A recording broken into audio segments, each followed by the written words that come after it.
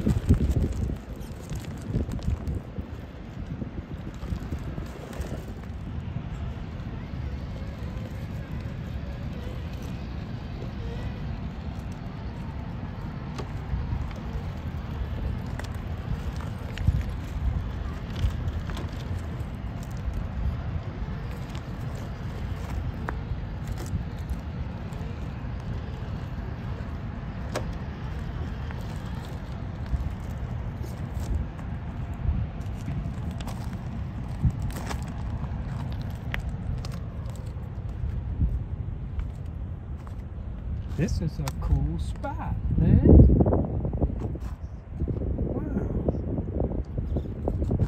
I came here when I first got the truck, but I was in the front.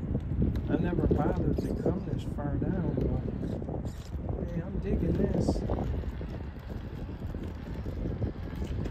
And it's close.